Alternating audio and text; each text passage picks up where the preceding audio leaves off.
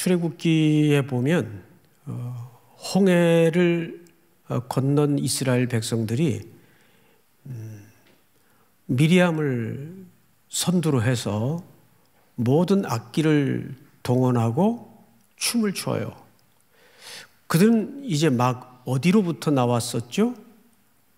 애굽으로부터 애굽으로부터 나왔어요. 애굽은 어, 대제국인데다가 모든 사회 시스템, 법규, 생산성 이 나라를 따라갈 나라가 없었어요. 그리고 그 속에서 마치 기계의 부속품처럼 관리자들의 감독 아래 할당량을 생산해야 되고 거기에 이르지 못하면 서열에서 밀리고 마치 성경에 등장하는 바로와 애굽은 사실 이 세상의 속성과 시스템을 그대로 반영한다고 해도 어, 틀리지 않습니다. 그 속에서 가장 천한 기급 중에 하나였던 히브리 노예들은 견디질 못할 정도로 너무너무 힘이 드니까 절규가 터져 나오고 울부짖고 하나님 앞에 탄원을 오랜 세월 동안 어, 올렸습니다. 비명을 질렀던 거죠. 근데 이런 세상의 모습은 어느 시대이든 늘 있어 왔어요. 사실 어, 애굽에 살던 노예들만 그런 장탄식을 쏟아냈던 것은 아니에요. 오늘날의 청년 속에도 이 절규가 있고 또 코로나와 맞물려 성도들의 일상에도 이 고통, 이 절규가 이 숨막히는 일상이 턱턱 우리를 어, 돌아버리게 만드는 지경에 몰아넣죠. 그런데 이들이 어느 날 모세를 통해서 홍해를 건너고 이제 막 홍해 끝자락에 마른 땅을 건너서 도착했을 때 너무 좋아서 노래만 부른 게 아니라 성경에 유심히 보시면 뭐까지 했죠? 춤까지 추어요. 덩실덩실. 제가 그 미리암의 노래라고 제목하여 15장을 쭉 읽으면서 어, 어떤 어, 모습이 탁 그렇게 스케치가 되냐 하면 아, 너무 좋았겠다. 그 해방이 진정한 자유가 가져다 주는 그 춤. 이거는 격식도 없었을 거고, 뭐, 마음껏 영혼과 온몸이 그 억압과 고난의 사슬로부터 헤어나온 그 자유. 그런 노래요, 그런 연주요, 그런 몸짓이었을 거란 말이에요. 자, 우리 그 장면을 한번 봅시다. 출애굽기 15장. 시간이 많지 않으니까 한 절만 읽을까요? 다 같이 시작. 미리암이 그들에게 화답하여 이르되 너희는 여호와를 찬송하라. 그는 높고 영화로우시며 말과 그 탄자를 바다에 던지셨음이로다 하였더라.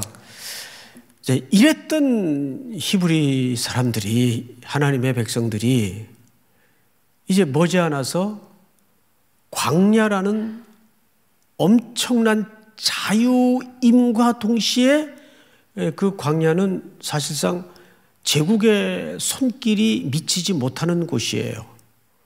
제국의 힘과 권세와 폭거가 끼치지 못하는 장소입니다. 완전한 자유로운 곳이에요.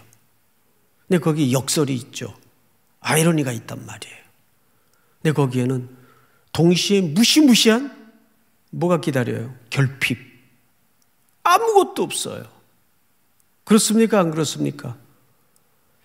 자, 우리는 이 두 얼굴을 이제 광야에서 만나게 되는 거예요. 우리 16장을 한번 띄워 주실까요? 같이 한번 읽습니다. 시작.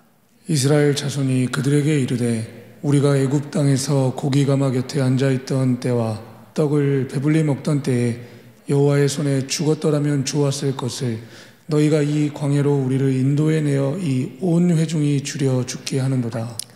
여기 유심히 보시면 뭐 한 호흡자락도 들숨을 내쉬기 전에 바로 이어서 이스라엘 자손이 그들에게 이르되 우리가 애굽 땅에서 고기 가마 곁에 앉아 있던 때와 떡을 배불리 먹던 때에 여호와의 손에 죽었더라면 좋았을 것을 너희가 이 광야로 우리를 인도하여 내 이 온 회중이 뭐하게 하는도다 줄여 죽게 하는도다 이제 결핍이 또 나와요 먹을 것만 없어서 이런 어, 절규로 바뀐 게 아닙니다.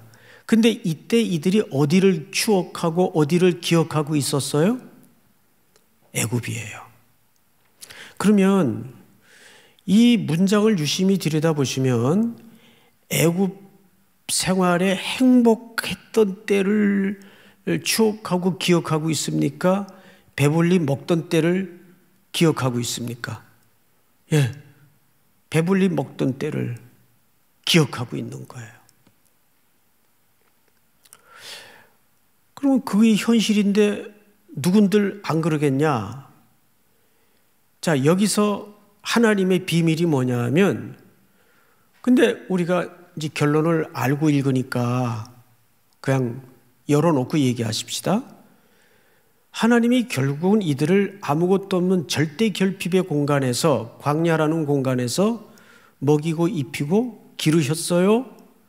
줄이게 하셨어요. 먹이고 입히고 기르셨어요. 그렇죠? 예. 그럼 과연, 과연 이 광야라는 공간은 이 히브리 백성들에게 뭘 경험케 하는 공간으로 바뀝니까? 하나님의 채우심, 하나님의 공급하심. 그래서 이거는 그래서 결론이 뭐냐면 뭐 하지 않으면 눈금을 도무지 가늠할 수 없는 경험일까요? 이건 떠나지 않으면 눈금을 가늠할 수 없는 경험이에요. 히브리 노예들이 애굽에서 떠났기 때문에 근데 그들이 사실은 부르짖긴 했어도 그 떠남은 타이에 의해서 떠난 거예요. 자, 여기 결국 우리가 유념해서 말씀을 깊게 묵상해야 될 과제가 뭐냐 하면 사람이 청춘의 시간이건 뭐 중년의 장년의 시간이건 노년의 시간이건 어느 날 불현듯 내 의지와 상관없이 절대 결핍의 장소로 내몰 때가 있단 말이에요. 그것이 꼭 물리적이고 물질적인 영역은 아닐 수도 있어요. 어떤 절대 결핍의 공간이나 경험이나 시간으로 우리를 내 몰아갈 때가 있어요. 그때 우리에게 필요한 게 뭐죠? 지금 이스라엘 백성들의 실수가 여기에서 벌어집니다. 그때 우리에게 필요한 것이 뭐냐 하면 광야는 히브리인들에겐 새로운 공간이에요. 새로운 공간에는 뭐가 필요합니까? 새로운 상상력이 필요해요. 그걸 우린 믿음이라고 하죠. 새로운 공간에는 새로운 상상력, 새로운 시인만이 가질 수 있는 새로운 생각, 새로운 원리. 그래서 하나님이 그들을 결국 이 결핍 끝에 어디로 이끌어 올리십니까? 신의 산. 이 신의 산에서 그들에게 뭘 주셨어요? 가나안 땅에 들어가서 살 원리를 주시잖아요. 새로운 원리죠. 새로운 질서, 새로운 규범. 그런데 이들은 거꾸로 자꾸 이 결핍을 만날 때마다 언제가 좋았던 거예요. 애굽의 시절이 자동적으로 기억 회복이 되는 거예요. 여기에서 우리 치열한 갈등과 다툼이 벌어져요. 그래서 여러분들에게 필요한 것은 시대가 더 혼란스럽고 더 수많은 갈등의 요인이 벌어질수록 어디에 집착해야 돼요? 말씀이에요. 그 길만이 우리가 사는 방법이에요. 집요하게 말씀만이 새로운 원리로서 새로운 시간에 새로운 질서에 나를 살려내는 힘이고 기반이고 기초입니다. 여러분 그 사실을 믿습니까? 그런데 이들의 기억은 자꾸 애굽으로 돌아가요. 왜 그렇죠? 하나님이 약속을 던졌단 말이에요. 내가 너희를 저 아브람 때부터 약속한 거 있지? 내가 네게 지시할 땅으로 가라. 그 새로운 약속에 대한 상, 믿음의 상상력이 부족한 거예요. 그 오늘 이 밤에는 기도하실 때 다른 사람들이 이렇게 들을 때는 뭔 헛소리를 하나 라고 들릴지라도 기도의 언어 속에 믿음의 상상력의 신과 방불한 날개를 달아서 말씀을 들으면서 기도를 하면서 찬양을 하면서 이 가슴에서 뭉클뭉클하게 일으키는 성령님의 파도를 타고 상상의 날개를 열어가야 돼요. 그게 믿음의 상상력이에요. 믿습니까? 그래서 이제는 오늘 본문으로 들어가서 오늘 본문의 몇 가지 단순한 어, 구조죠. 자, 지난 시간에는 나 환자 네 명이 이래 주거나 저래 주거나 여기 앉아서 주거나 적진에 들어가서 국어를 하다 주거나 가보자 하고 네 나환자가 아람 진영으로 먹을 거 찾으러 살려고 들어갔죠. 그런데 하나님의 신묘막측한 방식을 통해서 경영을 통해서 아람 진영에서는 이 네 나환자의 발자국 소리를 뭘로 들리게 했습니까? 천군 만마의 우레와 같은 소리로 들리게 만들었어요. 하나님의 나라의 확성기를 틀어서 그 네 명의 발자국 소리를 천군 만마가 달려오는 소리로 듣게 해가지고 아람 진영의 군사들이 혼비백산하고 그냥 가지고 전쟁하러 왔던 물자들, 무기들, 먹을 거 다 그냥 그대로 놓고 주랭랑을 쳐버리고 말았다는 믿겨지지 않는 스토리가 지난주 이야기였어요. 기억나시죠? 기억이 나셔야 돼요. 예.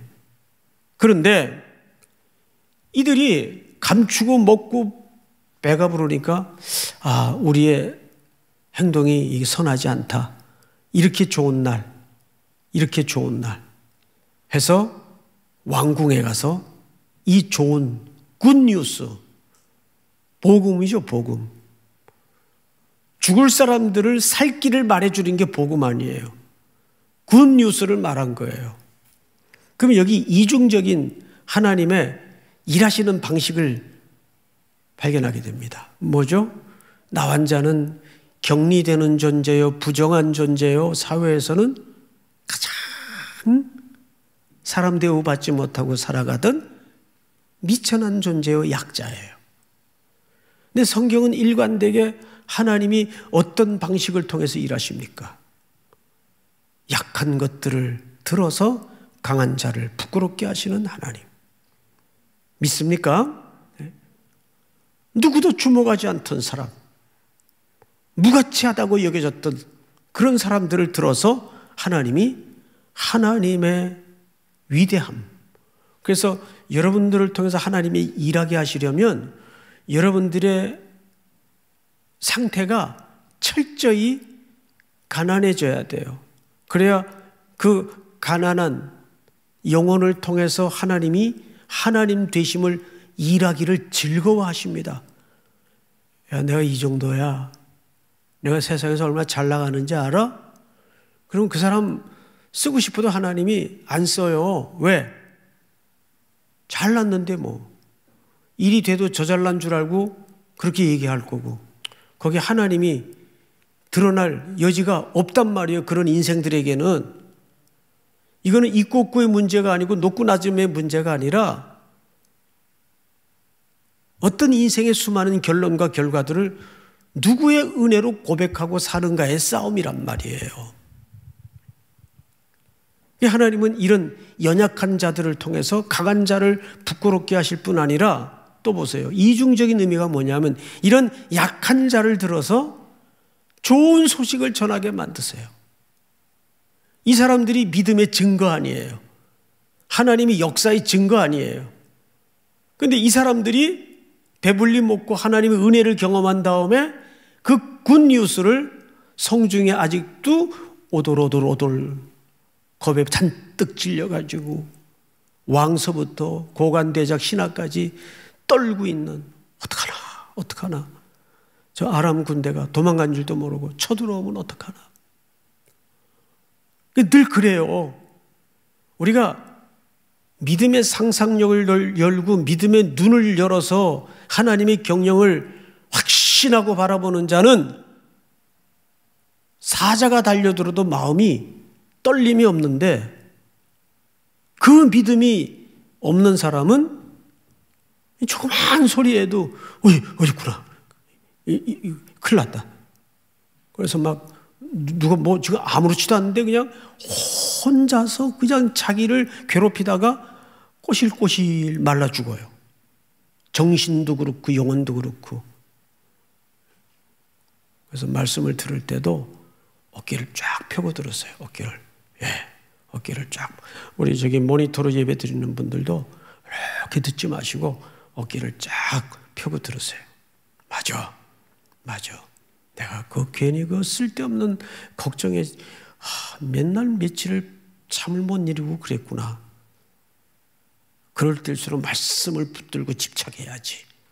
자꾸 입으로 혼자 어, 자꾸 중얼거려야 돼요. 혼자. 그건 자기 암시가 아니에요. 하나님의 약속을 자꾸 받아먹는 거예요. 예수님이 그랬지? 먹고. 하나님이 그러셨어? 또 한 모금 먹고. 졸지 말라고 이렇게 지금 하는데도 오늘 왜 저러시나 그런 표정들이라서 자 성경을 이제 보십시다 10절 가서 성읍 문지기를 불러 그들에게 말하여 이르되 우리가 아람진에 이르러서 보니 이제 좋은 소식을 전하죠.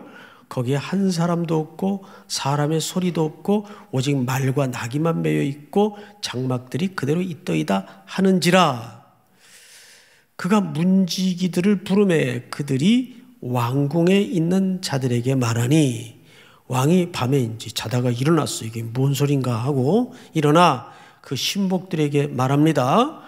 아람 사람이 우리에게 행한 것을 내가 너에게 알게 하노니 그들이 우리가 줄인 것을 알고 있으므로 그 진영을 떠나서 들에 매복하고 스스로 이르기를 그들이 성읍에서 나오거든 우리가 사로잡고 성읍에 들어가겠다 한 것이니라 하니 이게 무슨 얘기냐면 예, 참 사람은 믿음이 세목굴로 생긴 사람은 무슨 복음을 집어넣어도 세목굴로 생각을 해요. 지금 그렇게 좋은 소식을 전했으면은 평소 하나님을 신뢰하고 있었던 사람 같으면 어떻게 했을까요? 하나님 역시 살아계시구나. 하나님 멋져. 어, 이래야 될 텐데 저, 저, 저, 저, 저, 나환자들 하는 소리 그걸 그대로 믿으면 그 바보지. 서로 그런 광경을 봤더라도 이런 계략일 거야. 우리가 이 성 안에서 지금 나가지도 못하고 물자 공급도 못 받고 이렇게 아사 직전까지 가니까 지금 뭐 어, 모든 물건 값이 폭등을 하잖아요 지금 에? 예? 공급이 안 되니까 먹을 것도 없고 오늘은 네 자식 먹고 내일은 우리 자식 먹자 이러는 판인데 지금 성 안에 기근이 그런데 이런 황당한 소식을 예? 그것도 뭐 믿을 만한 사람이 가지고 온 게 아니고 나 완전 네 명이 와서 그러니까 사실 또 어, 일반적인 상식선에서는 믿겨지질 않겠죠. 예? 게다가 믿음도 없는 왕이니까. 그러니까 뭐라고 어, 여기 왕이 얘기를 하냐면 이거 계략이다. 우리를 유인해 내 가지고 우리가 성을 비운 틈에 공격을 하려고 이건 유인 전략이다. 속아서는 안 된다. 사실 이런 신뢰가 여호수아서에 나와요. 전투 때. 자, 그런데 이때 성경을 잘 보세요. 13절. 그의 신하 중 한 사람이 대답하여 이르되 청하건대 아직 성중에 남아 있는 말 다섯 마리를 취하고 그러니까 이 성에 지금 짐승이라고는 이게 남은 전부예요. 말 다섯 마리만 남았어요. 말 다섯 마리를 취하고 사람을 보내 뭐하게 하소서? 정탐하게 하소서. 신하 중에 하나가 왕에게 조언을 한 거예요. 그 각하 그러지 마시고 무조건 무시할 건 아닌 것 같고 저들의 눈빛 또 태도를 보니까 뭔가 있긴 있는데 무시할 게 아니라 정탐꾼을 한번 보내보십시다. 해서 정탐꾼을 병거 둘을 보내요. 자, 몇 절을 보시냐면 14절. 그들이 병거 둘과 그 말들을 취한지라 왕이 아람 군대 뒤로 보내며 가서 정탐하라 하였은즉 어, 학자들은 왜 병거 둘을 보냈는가? 뭐 어떤 학자는 이게 증거의 수이기 때문에 그렇다 하기도 하고 이제 어떤 신학자들은 어, 병거 하나가 혹 적의 손에 의해서 그 계략에 따라 파괴가 되면 한 병거라도 되돌아와서 그 결과를 알려야 되기 때문일 것이다. 성경이 침묵하기 때문에 어떤 해석을 취할 수는 없어요. 어쨌든 둘을 보냈어요. 자, 그런데 15절 같이 한번 읽어볼까요? 시작. 그들이 그들의 뒤를 따라 요단에 이른즉 아람 사람이 급히 도망하느라고 버린 의복과 병기가 길에 가득하였더라. 사자가 돌아와서 왕에게 알리니. 자, 그들이 돌아갔다는 길을 뒤로 추적해서 거꾸로 따라가 봤더니 요단강까지 이게 무려 한 35km에서 40km 꽤 먼 길입니다. 이걸 쭉 올라가 본 거예요.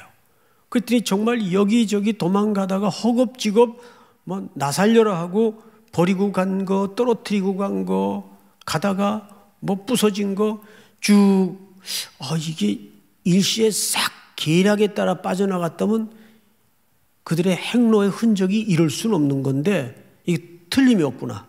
그 네 명의 나환자들이 전한 소식이 진실이구나. 왕에게 고했어요. 자, 이제 보십시다. 16절. 백성들이 나가서 아람 사람의 진영을 노력한지라. 그러니까 성 안에 그동안 사람까지 잡아서 먹는 그런 아사 직전의 사람들이 그 소식을 듣고 아람 진영으로 건너가 봤더니 천지에 먹을 게 널렸어요. 병사들이 버리고 간 게. 자, 볼까요? 이에 고운 밀가루 한 스, 한 스아에 한 세겔이 되고 보리 두 스아가 한 세겔이 되니 17절 다 같이 시작. 왕이 그의 손에 의지하였던 그의 장관을 세워 성문을 지키게 하였더니 백성이 성문에서 그를 밟음에 하나님의 사람의 말대로 죽었으니 곧 왕이 내려왔을 때 그가 말한 대로라. 여기 보시면 16절 끝에 보시면 보리 두 수아가 한 세겔이 되니 같이 되었고 여호와의 말씀과 같이 되었고 거기 언더라인 하세요 머릿속에다가. 자 따라서 합니다. 여호와의 말씀과 같이 되었고. 자 우리 금년 내내 뭐가 현실이 되게 하라? 하나님이 현실이 되게 하라 이걸 살짝 변형을 시켜도 하나님의 말씀이 뭐 되게 하라? 현실이 되게 하라. 빵이 어디서 누가 공급을 해줬나요? 어디서 배달이 왔나요? 지금 그런 게 아니란 말이에요. 이거야말로 정말 기적 두 글자 외에는 설명할 답이 없어요. 그러니까 성경 기자가 뭐라고 정확히 얘기하죠? 하나님의 말씀과 같이 되었고, 여러분, 이 사실을 믿으십니까? 하나님의 말씀과 같이 됩니다! 할렐루야! 그 약속을 붙들어야 돼요. 히브리 노예들이 나와서 뭐를 자꾸 기억했다고요? 하나님의 약속을 기억하지 않고 그들의 배를 보장해주고 따스한 등을 보장해주던 허기를 보장해주던 그 제국의 시스템 그것만 믿었단 말이에요. 우리 민수기서를 한번 띄워볼까요?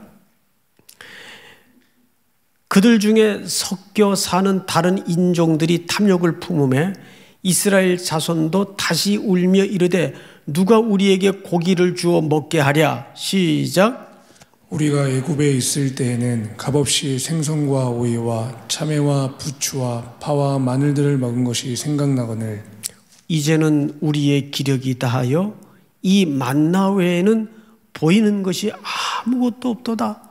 여러분, 만나 외에는 보이는 것이 없다는 말은 이미 기본적인 허기를 하나님이 책임져 줬어요, 안 줬어요? 책임져 줬단 말이에요. 근데 그걸 또 책임지니까 플러스 알파. 애굽에서는 버터도 있었고 마늘도 있었고 부추도 있었고 그때부터 부추가 좋았던 것 같아요. 자꾸 또 점점 더 탐욕이 하나씩 더해갑니다. 이번에 하나님이 그래 내가 너희 이빨 사이에 아주 고기가 끼도록 주마. 그래서 뭐가 내렸어요 하늘에서? 매출하기, 매출하기. 아침에도 매출하기, 매출하기 만나, 매출하기 무침, 매출하기 볶음, 매출하기 구이. 아주 질리도록 줬어요. 하나님도 참 재밌고 해학적인 분이세요. 달라면 아주 그냥 질리게 주시는 분. 아유, 그렇게라도 한번 받았으면 좋겠다. 그 사정은 알겠는데 이들은 그럴수록 약속을 기억하는 쪽으로 가지 않고 이 세상에 편함을 제공하는 쪽으로 기억이 자꾸 회복이 되는 거예요. 이 뭐가 약해서 그렇죠? 말씀을 붙잡는 기초와 상상력이 약해서 그래요. 어제 어느 분이 저한테 물어요. 목사님은 지치지 않냐고. 아, 처음엔 지치지 않냐고 물은 게 아니라 힘들지 않냐고. 왜 안 힘들어? 힘들지. 근데 여러분, 지치는 거하고 힘드는 건 틀려요. 뭐 20대 때는 그러면 안 힘들어요? 나이가 들어가면 더 힘들어지나요? 그건 아니에요. 힘들어도 지치지 않는 경우가 있어요. 전 지치진 않아요. 힘은 드는데. 근데 언제 지칠까요? 가치와 목적이 사라질 때 지쳐요. 잘 기억하세요. 맞죠, 여러분? 예. 그런데 이것이 하나님이 내게 서 있으라는 곳이고, 가라는 곳이고, 하라는 가치이면 그건 지칠 수가 없어요. 힘은 들지요. 당연히. 그런데 지치지는 않아요. 그래서 힘든 것과 지치는 건 틀려요. 달라요. 이스라엘 백성들은 광야를 걸어갈수록 힘든 건 사실 애굽 때도 힘들었잖아요. 더 힘들었죠. 얼마나 힘들었으면 비명을 지르고 절규를 했을까요? 그런데 광야에 나와서 왜 자꾸 그쪽을 생각 속에 기웃거리고 했죠? 목적과 가치관을 잃어버렸기 때문에 그래요. 그걸 우리 신앙적인 표현으로는 약속을 잃어버렸기 때문에. 요즘 내가 왜 이렇게 지칠까? 한번 생각을 해보시라고요. 자, 마지막으로, 마지막으로. 18절에서부터 20절까지는 2절의 하나님의 예언이 선지자를 통한 예언이 어떻게 그대로 성취되는가를 설명하는 내용입니다. 18절 하나님의 사람이 왕에게 말한 바와 같으니 이르기를 내일 이맘때에 사마리아 성문에서 보리 두 수알을 한 세겔로 매매하고 고운 밀가루 한 수알을 한 세겔로 매매하리라 한즉 19절 다 같이 시작. 그때 이 장관이 하나님의 사람에게 대답하여 이르되 여호와께서 하늘에 창을 내신들 어찌 일이 있으랴 하매 대답하기를 내가 내 눈으로 보리라. 그러나 그것을 먹지는 못하리라 하였더니 그의 장관에게 그대로 이루어졌으니 곧 백성이 성문에서 그를 밟음에 죽었더라. 자, 이것도 누구의 말씀대로 성취된 겁니까? 하나님의 말씀대로 그대로 이루어졌어요. 이들은 자기들 눈으로 하나님의 예언의 성취를 봐요. 그런데 그걸 자기 것으로 경험하진 못하죠. 먹을 걸 먹지 못하고 누리지 못해요. 그 성문에서 밟혀 죽어요. 근데 이 장관이 왜 성문에 있었을까요? 성경을 보십시다. 17절. 왕이 그의 손에 의지하였던 그의 장관을 세워 어디를 지키게 했어요? 성문을 지키게 했어요. 장관이 성문 지키는 거 아니잖아요. 근데 왜 성문을 지키게 했을까요? 이게 바로 제국의 시스템 흉내를 내고 있는 겁니다. 여러분, 애굽의 스토리를 성경에서 읽어보면 모든 세상의 백성들, 세상의 재물, 땅, 이 다 누구에게로 귀속되는 것이 제국의 시스템입니까? 바로에게. 그래서 장관을 자기 손에 의지하고 사, 살고 있는 장관을 성문에 배치한 것은 이걸 백성들에게 전부 골고루 행복을 경험하도록 나누어 줄 생각을 안 하고 거기서 전부 왕이 움켜줘서 뭐 하겠다는 얘기입니까? 자기 손 안에서 이거를 관리하고 통제하겠다는 얘기예요. 그래서 자기 장관을 그 성에다가 배치를 합니다. 그리고 노량물로 갖고 들어오는 것들을 다 왕에게로 돌리게 만들었겠죠. 당연히 이 나라의 질서상 이미 여러분 북이스라엘은 지독하게 애국화되어 있던 때입니다. 그 뿌리를 거슬러 올라가면 솔로몬 때부터 그 뿌리를 갖고 있어요. 그래서 백성들이 달려들어서 그냥 밟아서 죽입니다.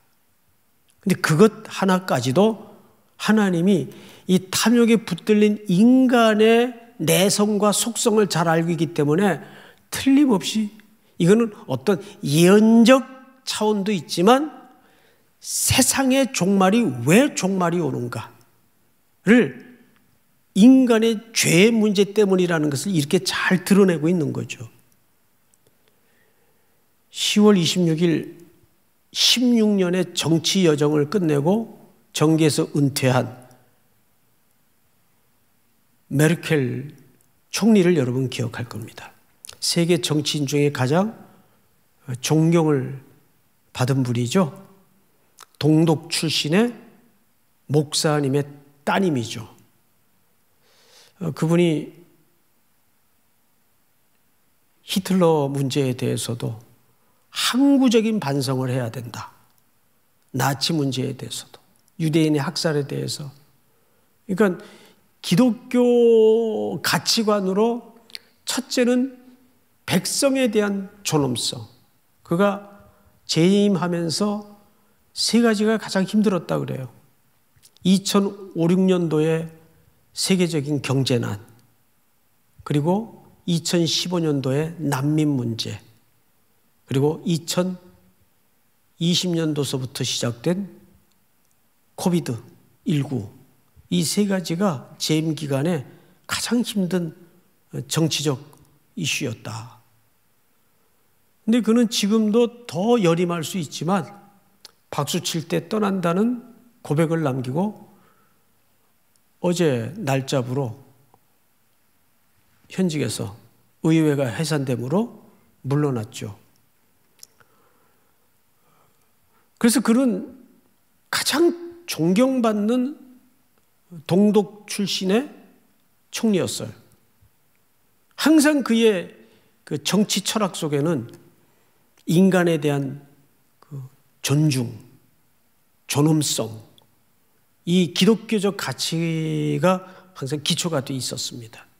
그러나 제국의 시스템은 그렇지 못해요. 오늘 이 내용도 결국은 왕이 자기 신복을 성 입구에다 세워놓고 백성들이 그 나마라도 가지고 들어오는 것들을 통제하고 뺏어서 착취하려는 시도가 있었기 때문에 백성들이 달려들어서 그냥 이런 처참한 종말을 맞이하게 합니다.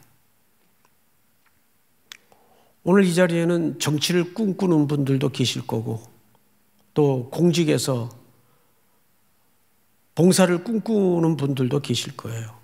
어디에 계시든지 정답은 항상 성경의 길이 있음을 기억하고 그 대로만 하면 세상이, 그러니까 교회가 자꾸 세상을 흉내내려고 하면 세상이 절대 안 따라와요. 교회는 언제 가장 매력을 발산하는가 하면 세상과 다를 때 세상 사람들이 설득이 되고 매력을 갖게 됩니다. 믿습니까? 하나님의 공식, 세상의 질서가 아니라 하나님의 공식, 하나님의 질서대로 교회가 간다 하면 누가 뭐래도 우리 조국 교회는 새로운 희망회로 나아갈 수가 있는 거죠. 그 일을 여러분들이 하셔야 돼요. 그리고 같이 해야 되겠죠. 오늘 이 성안의 기쁜 소식은 하나님의 말씀을 현실로 붙잡고 있던 사람들에게는 누림과 복이 되었지만 끝까지 하나님을 현실로 붙들지 못한 자들에게는 보기만 하고 누리지 못하는 재앙이 되고 말았어요. 당연히 여러분들은 어느 쪽에 서렵니까? 이 말씀이 여러분들 평생에 귀한 믿음의 눈을 열게 하시는 그 약속에 기초하는 기도의 제목으로 일어설 수 있기를 주님의 이름으로 축원하고 축복합니다. 기도하겠습니다. 우리 시간 다 같이 한번 머리 숙여 통성으로 기도할 때 우리 아까 불렀던 찬송의 후렴처럼 믿음의 눈들어 주를 보리. 이 또한 지나가리라. 주어진 내 삶의 시간 속에 주의 뜻을 알게 하소서. 우리 나적한 음성으로 후렴만 우리 찬양하십시다. 믿음의 눈들어